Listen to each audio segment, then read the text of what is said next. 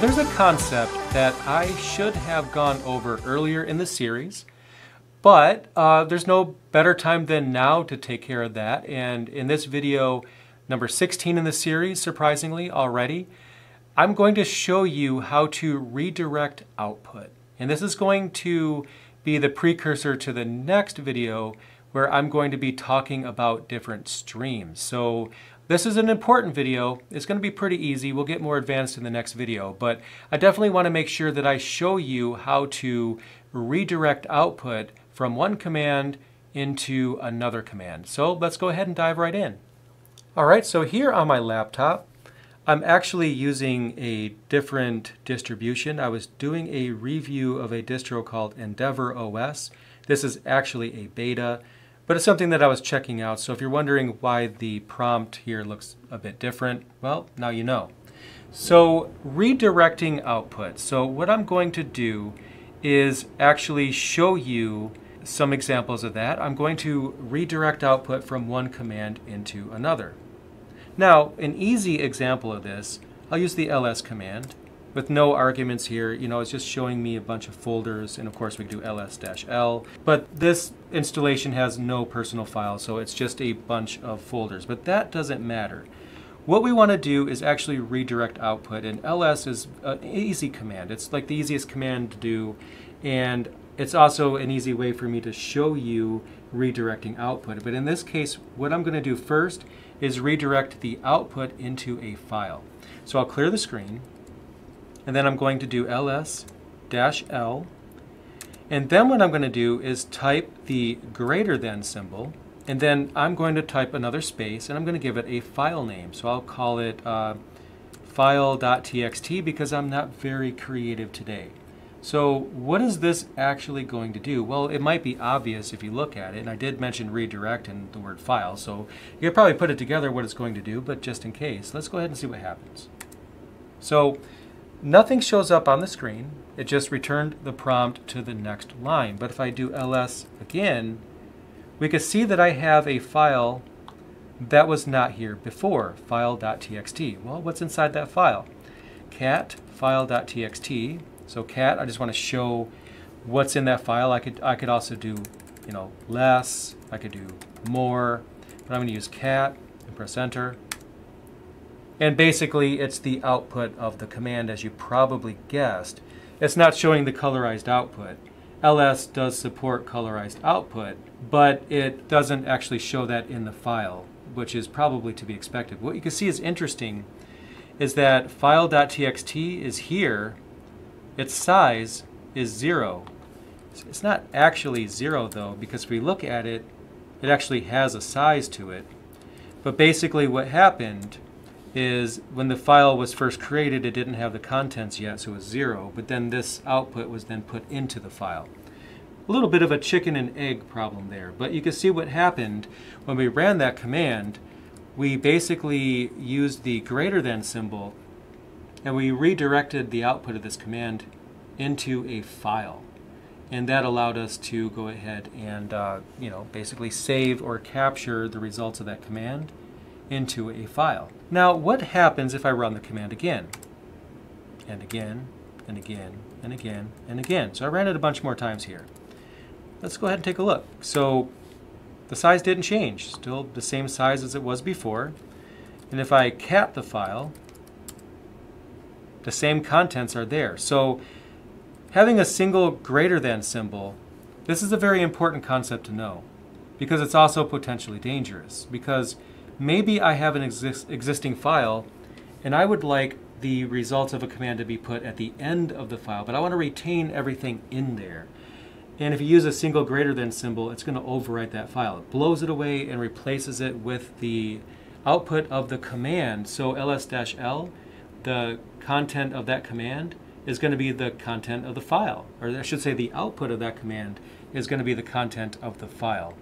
And no matter how many times you run it, it's just going to replace the file. But if you do two greater than symbols, we can see that it's going to be different. And I'm going to do it a bunch of times here, just to kind of over dramatize it, but we'll just see what's inside the file. Quite a bit. You can see here that You know, it basically duplicated that. So basically what you could take from that is having two greater than symbols is effectively the same as saying I want to append to the file. I don't want to overwrite it. I want the output of this command to go to the end of the file. And again, that's an important distinction because I personally, I think at least, I think every Linux administrator has done this, unfortunately, at least once, where they overwrite a file they really didn't want to and they blow it away. Oops, darn it, I really meant to append it but you know what? Um, shame on me, I should have used two greater than symbols. So I guess what I'm saying is be very careful with this because if you had an important file, you could potentially wipe that out and, and you know you don't want to do that if it's important or you want to retain that. So it's an important distinction. We'll get back to the video in just a moment, but before we do, I just wanted to mention my sponsor, Linode. Linode is an awesome provider of cloud Linux servers. Setting up your Linux cloud servers or Linodes is quick and easy with their intuitive Cloud Manager interface. There are multiple instance types available to make any app or service flexible and scalable. If it runs on Linux, it runs on Linode. Use your Linode server to host a website, set up a VPN, create a Nextcloud instance, host a game server, and more. You can set up your Linodes in a data center nearest you with their latest opening in Mumbai in July 2019.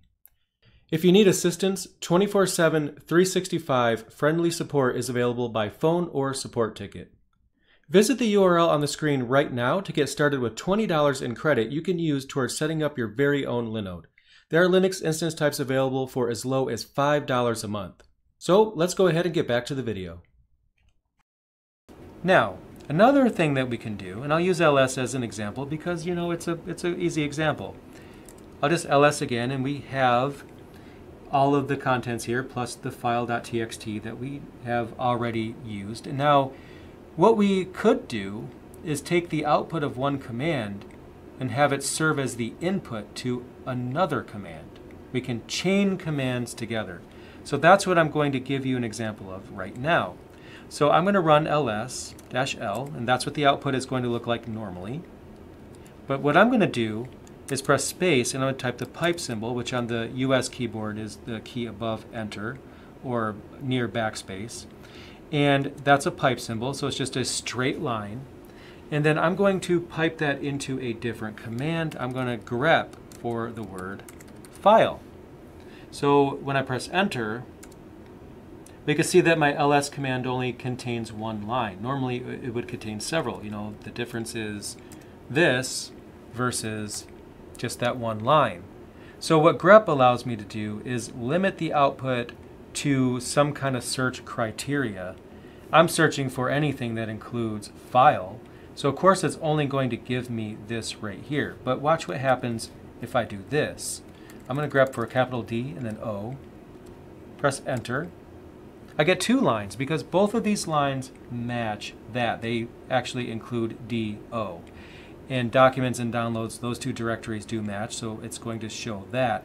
But what I'm doing is I'm taking the output of this command and then I'm chaining it as the input to another command, in this case grep, and then I'm grepping for do. So it allows me to take the output of one command and put it into the other. So what I'm going to do right now is give you a more practical example of chaining output or output redirection. So suppose you have a log file, but you only want to get relevant individual lines and you wanted to omit any duplications. So we're going to use the file.txt file again, but we're going to actually do things a little bit differently. So just to show you what it includes right now, we have this output right here, which is, again, is just ls a bunch of times.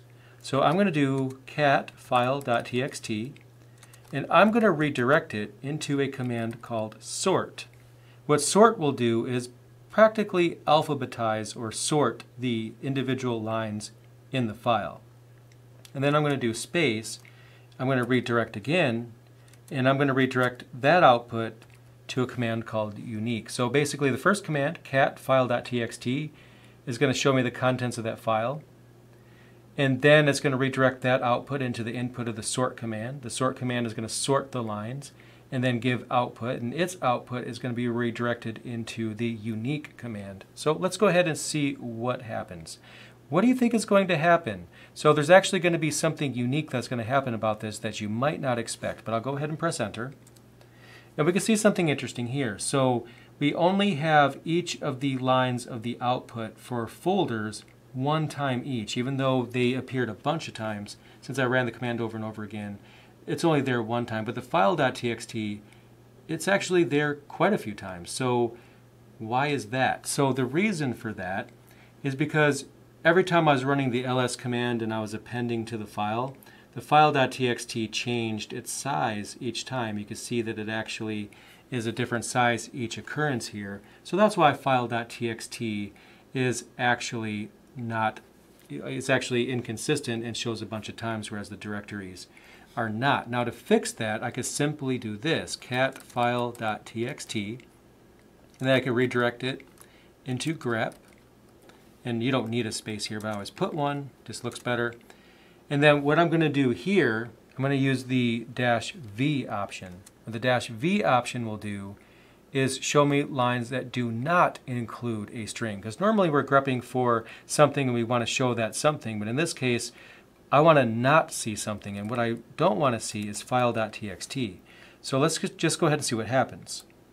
Now what we can see here is I see every line, but I don't see file.txt listed because I omitted that by using the dash V option. So I'm going to overwrite, or actually I'm going to redirect the output into a file, and I'm going to create a new file called new file.txt.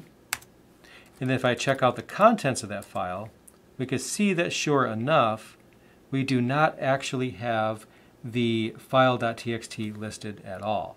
So now what happens if we run the previous command? So I'm going to go ahead and bring that up. And here it is, cat file.txt, but I actually called it a different name, didn't I? So I'm going to have to give it that name, new file. I'm going to do the same thing, redirect it into sort, and then also uniq. And we can see that we don't have all those lines of file.txt listed there because I resaved the file without that. And now we see something different. We do have total listed twice because that did change over the course of me running the command over and over again. But you could basically see how this is useful. And the reason why this is useful is if you have a misbehaving process and you're looking at its log file, it might show a specific item like hundreds of times, but maybe you only just need to see it the one time, and that can basically cut the size of the file. And then a really easy example of redirect, and probably one I should have started with, is word count. So I could do ls and then grep for, actually I need to do ls-l, redirect that to wc, we get a number, um, without going too much into the WC command, that's a word count, but that's not what we're using it for. What we actually want to do is dash L, which is line number. How many items do I actually have in my local directory? 13.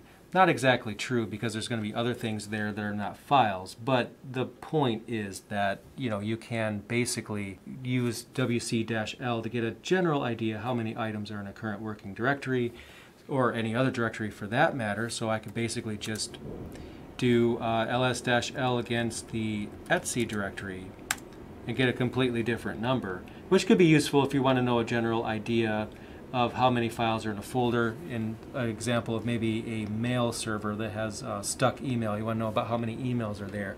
And we can certainly limit the output to the actual number of items, but I'm not going to get into that in this video but I just wanted to show you how to redirect and also how to append output into a file when I went ahead and showed you all of that. So I think we should be all set. So in the next video, we're going to take this concept and we're going to get a little bit more advanced with it. So um, it's not too bad, but I think you just need to make sure you understand redirecting um, output from one command into the input of another command, also capturing the output of a command into a file. Just make sure you understand that right. And then when the next video is uploaded, you could take it just, your understanding just a little bit further. So I'll see you there. Thank you so much for watching my video. I really appreciate it. If you want to help me out, make sure you check out the description below this video, where you'll find links to my latest book, Mastering Ubuntu Server, second edition, as well as my Patreon page. If you like this video, be sure to click that like button and share it on Twitter or any other social media network. And be sure to subscribe so you'll be the first to see my latest videos as they're uploaded. Thanks again.